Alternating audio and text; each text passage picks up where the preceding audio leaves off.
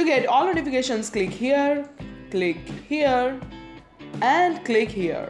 Enjoy!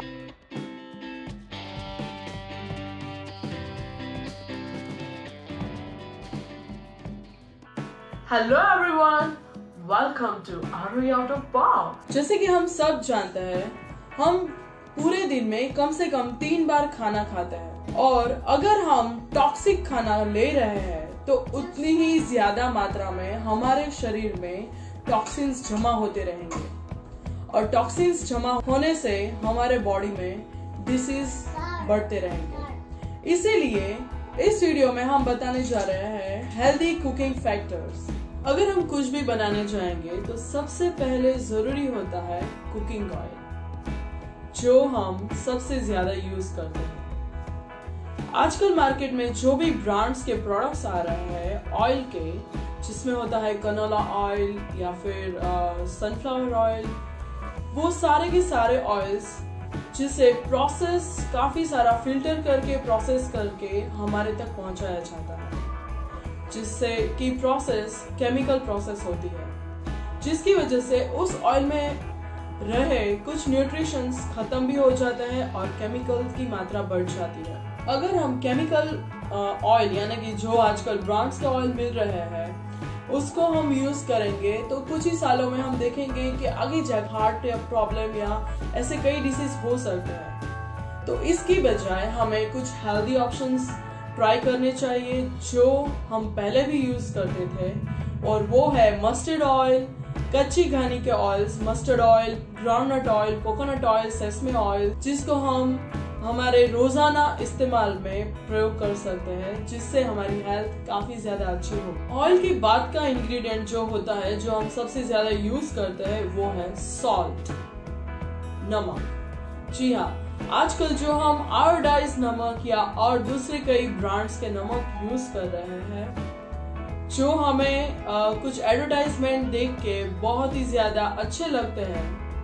पर उसकी जो रियलिटी होती है, वो हम चेक नहीं करते हैं। वो काफ़ी ज़्यादा प्रोसेस से गुजरने के बाद हमारे तक पहुँचते हैं। यानी कि उसमें से काफ़ी सारा न्यूट्रिशन कट होके हमारे पास आता है। और उसमें केमिकल्स भी जुड़े होंगे, क्योंकि वो प्रोसेस्ड फ़ूड हो जाता है।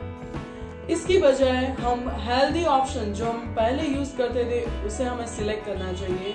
जैसे कि rock salt pink salt black salt और सी सॉल्ट जिसमें बहुत ही ज़्यादा नेचुरल मिनरल्स और बहुत ही सारा न्यूट्रिशन होता है। आयरन फॉस्फोरस पोटेशियम और बहुत सारे न्यूट्रिशन होते हैं, जो हमें, हमारे बॉडी में डिसीज होने से रोकते हैं, उसके साथ साथ हमारी बॉडी को नरिश भी करते हैं। आयोडाइज सॉल्ट जैसे केमिकल्स वाले सॉल्ट यूज़ करने से थायराइड जैसी बीमारियाँ भी ज़्यादा से ज़्यादा बढ़ने लगी है और आगे भी कई सारे डिसीज बढ़ने की संभावना रह सकती है। इससे अच्छा हमें हमारे ट्रेडिशनल सॉल्ट का उपयोग ज़्यादा करना चाहिए। नेक्स्ट फैक्टर आता है शुगर जो हम बहुत ज़्यादा आजकल खाने में ले रहे हैं और वो जो ले रहे हैं रोज़ाना वो है ये क्रिस्टल शुगर जो हम सब के लिए बहुत ही ज़्यादा नुकसान कारक है। अगर इसके सामने हम हेल्दी ऑप्शन यूज़ करेंगे तो वो बहुत ही ज़्यादा अच्छा रहेगा। जैसे कि जो होता है देसी जैगरी या फिर रॉक शुगर यानी कि मिश्री या फिर हनी ये सब ऑप्शंस बहुत ही ज़्यादा हेल्दी ऑप्शंस होते हैं, जिसमें काफ़ी सारे न्यूट्रिशन बरकरार होते हैं। यानी कि अगर हम ये इसको कंज्यूम करते हैं रोज़ाना तो इसमें हमारे बॉडी को अल्कनाइन रखने की भी क्षमता है और उसके साथ साथ ये हमारे बॉडी को कैलोरी नहीं पर बहुत ही ज़्यादा न्यूट्रिशन प्रदान करता है जिससे हम हेल्दी भी रह, रह पाएँगे और मीठा खा भी पाएँगे। Next factor is varieties of grains यानी कि हम जो अनाज या धान लेते हैं खाने में उसमें हमें वैरायटीज रखनी चाहिए। जैसे कि अगर हम रोज़ाना गेहूँ खाते हैं, उसकी बजाय हमें दूसरे ग्रेन्स भी यूज़ करने चाहिए। जैसे कि हम सब जानते हैं राइस बहुत सारे टाइप्स के आते हैं।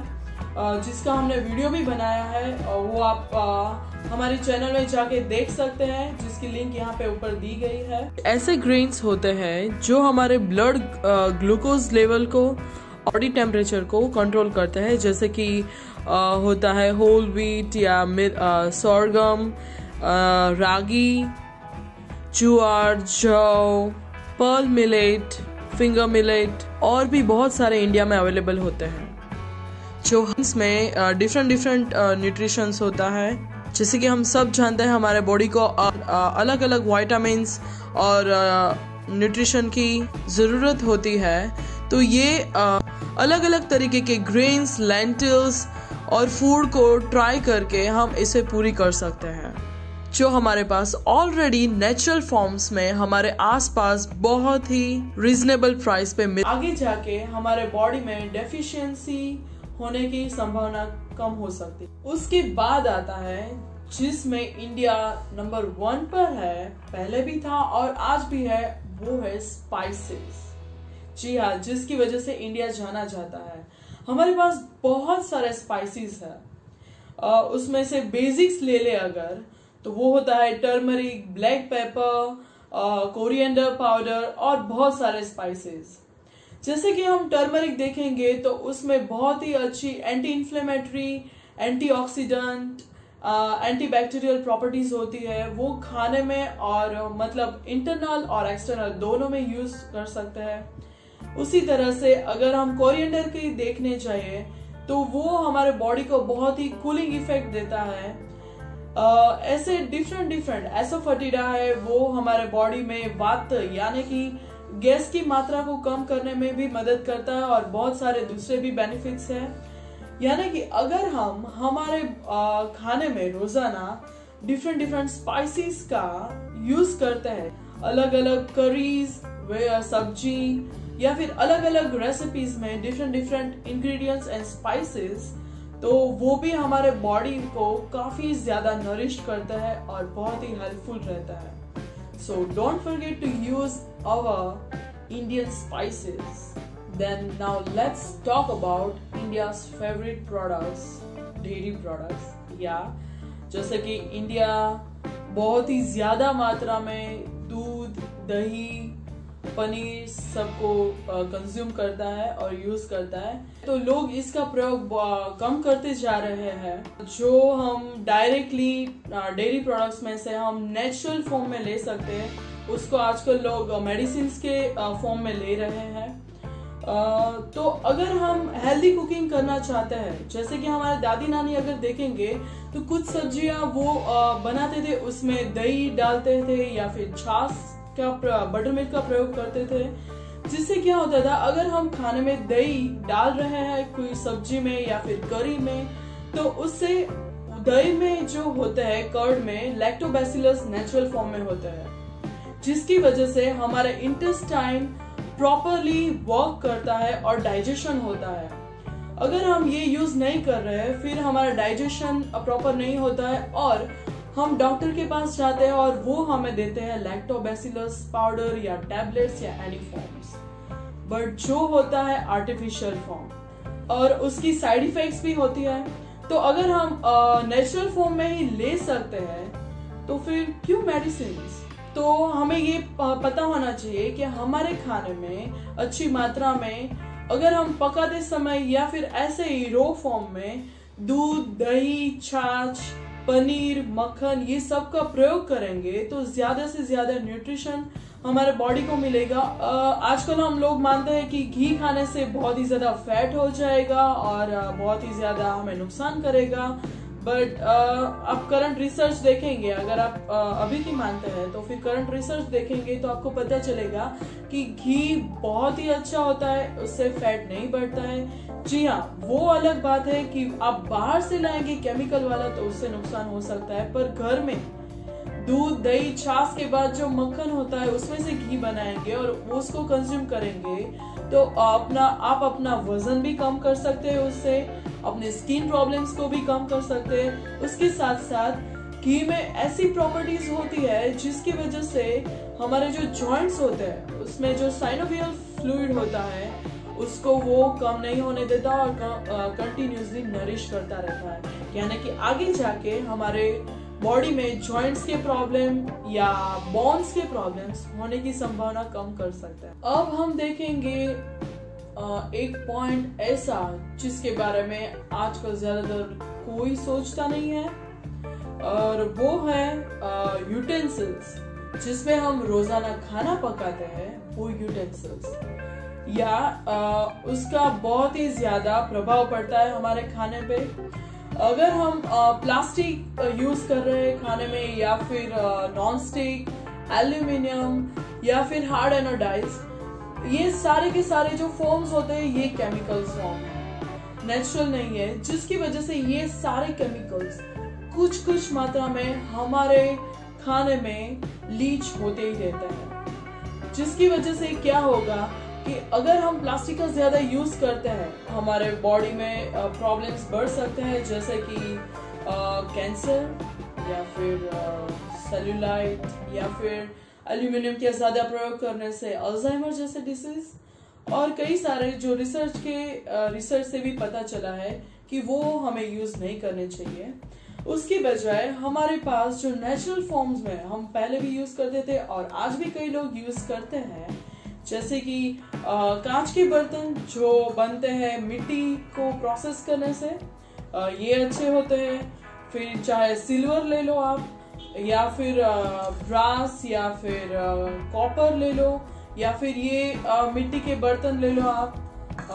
आयन आयन में भी खाना बनाने से इससे क्या होता है, अगर हम खाना आयन में बनाएँगे तो उसमें जो भी पकाते उसमें आयन की मात्रा भी बढ़ेगी, क्योंकि ये खुद आयन से बना होता है।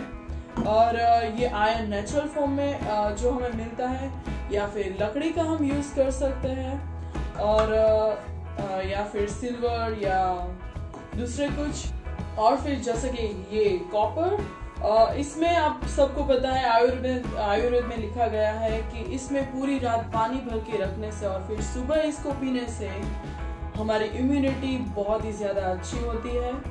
आ, उसके साथ साथ हम आ, ये मिट्टी का देखें अगर तो मिट्टी में नेचुरल फॉर्म में आ, सारे मिनरल्स होते हैं फॉस्फोरस पोटेशियम या सारे मिनरल्स देखेंगे तो सारे हमें मिट्टी में मिलेंगे। मिट्टी में खाना बनाने से ये होगा कि ये अल्कलाइन फॉर्म होता है और ये सारे नेचुरल फॉर्म आल्कलाइन फॉर्म होते हैं। इसमें खाना बनाने से खाना एसिडिक नहीं रहेगा।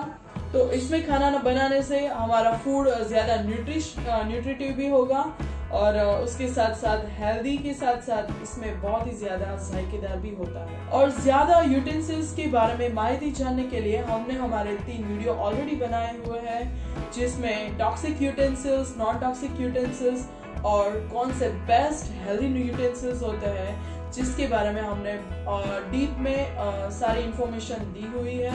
तो आप हमारी चैनल पे जाके वो देख सकते हैं। अगला देखेंगे तो आता है कुकिंग स्टाइल्स या फिर मेथड आ, हम रोज़ाना हमारे कुकिंग में अलग अलग मेथड्स का यूज़ करते हैं और अलग अलग कुकिंग स्टाइल्स से कुकिंग करते हैं। जैसे कि होता है बेकिंग फ्राइंग हीटिंग स्टीमिंग या फिर स्टीमिंग और उसके साथ हम जो माइक्रोवेव में जो बेकिंग करते हैं वो भी। अब सबसे पहले देखने जाए तो कुकिंग क्यों ज़रूरी होता है? सबसे पहला तो आ, कुकिंग करने से हमारा जो भी फ़ूड होता है वो जम फ्री हो जाता है। और दूसरा जो आयुर्वेदा के अनुसार हम देखें तो दूसरा पॉइंट वो होता है कि कुकिंग करने से हमारा फ़ूड अच्छे से डाइजेस्ट हो सकता है जिससे हमारे बॉडी को न्यूट्रिशन और एनर्जी मिल सकती है। और जिससे हमारा मन भी प्रसन्न रहता है। तो इसकी वजह से फ्रेशली कुक खाना हमें खाना चाहिए। आ, या और ये बात का ज़रूर ख्याल रखना चाहिए कि खाना ज़्यादा मतलब कि ओवर कुक भी ना होना चाहिए मत नहीं होना चाहिए। जैसे कि फ्रूट्स है आ, उसको हमें रो ही खाना चाहिए ज़्यादातर जिससे हम एंजाइम्स प्राप्त कर सके उसमें से। Cooking ingredients should be local यानी कि जो भी खाना हम बनाते हैं वो सारे इंग्रेडिएंट्स सीजनल और लोकल होने चाहिए। क्योंकि तभी वो इंग्रेडिएंट्स फ्रेश और प्योर हो सकते हैं। अगर वो सीजनल नहीं होंगे तो फिर उसका मतलब होता है कि वो स्टोर किया गया हुआ इंग्रेडिएंट्स है, जो हम कंज्यूम करने जाने वाले हैं। और अगर वो लोकल इंग्रेडिएंट भी नहीं है, यानी कि वो बहुत सारी ट्रैवल करके आया हुआ है, यानी कि उसमें उतना न्यूट्रिशन बरकरार नहीं होगा और अगर ये दोनों ही कंडीशन वाला इंग्रेडिएंट्स हम खाना बनाने में यूज़ करते हैं तो फिर वो खाना हेल्दी नहीं हो सकता है। जिसकी वजह से हमें कोई हेल्थ बेनिफिट ज़्यादा नहीं होगा। अगर आप इसके बारे में ज़्यादा जानकारी जान, आ, पाना चाहते हैं तो उसके लिए हमने ऑलरेडी वीडियोस बनाए हुए हैं। आप हमारी चैनल पे जाके देख सकते हैं हमारे लिए कौन सा खाना सुरक्षित या असुरक्षित हो, होता है। जिसके लिंक यहाँ ऊपर भी। With love a special ingredient जब भी हम खाना बनाए, तब हमारा माइंड में positive intention love and healing vibrations mantra और प्रेयर्स होना चाहिए, जिससे हमारा खाना ज़्यादा पोटेंट और रीच होगा, वो भी हीलिंग प्रॉपर्टीज़ के साथ। जी हाँ ये रिसर्च से भी पाया गया है कि जो भी हम सोचते हैं खाना बनाते वक्त, वही एनर्जी हम खाना खाने में इन्फ्यूज करते हैं और वो खाना खाने वाले को वही एनर्जी हम पास ऑन करते हैं। इंफॉर्मेटिव और क्रिएटिव वीडियोस के लिए do not forget to subscribe R I out of box and give a like and don't forget to comment your thoughts into the comment box down below please do share with everyone Thank you.